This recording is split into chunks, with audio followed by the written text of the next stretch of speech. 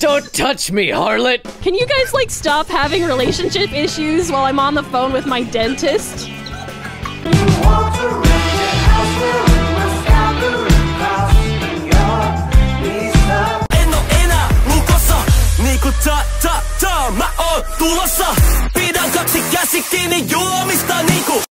Here we go.